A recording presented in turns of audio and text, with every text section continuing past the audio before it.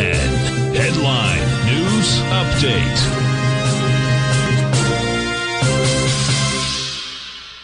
Hi everyone, Basil Chapman here. This is the, the t- uh, t- 11 o'clock Tiger Financial News Network market update. Dow's up 100 at 31,535. Most importantly, it ran all the way in this leg B to the upside at 31,885 earlier this morning. Is it trying to find some kind of a base right here so that it can move higher? We'll see soon enough. Now, what's really important about this phase, you see this little gap, not a little, huge gap in the Dow from the gap the lower high on the 10th of June. That's at 32,053. So there's this whole gap between 32,000 and that 32,053 area.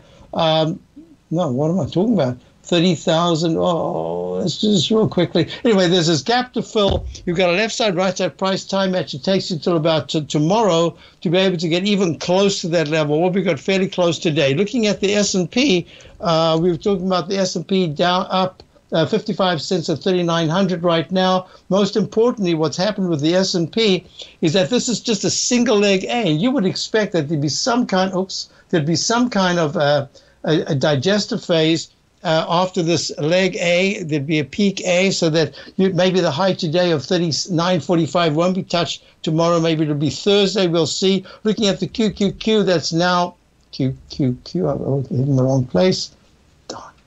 There it is.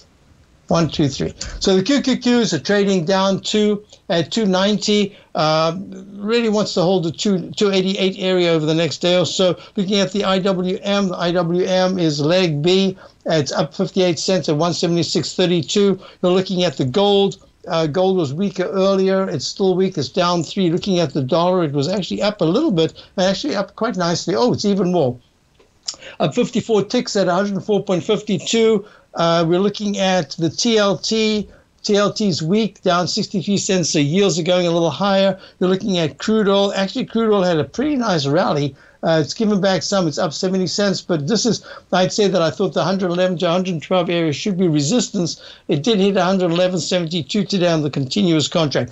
I'll be back for the next hour to fill in for Larry Pesavento's hour 11 to 12.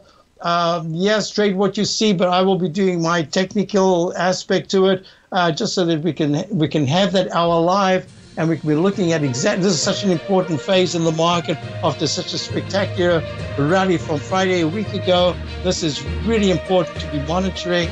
Where are we and what are we doing? We'll discuss that as soon as I return for the 11 o'clock to 12 o'clock hour. Usually Larry's show. Larry's voice is still very scratchy and hurting.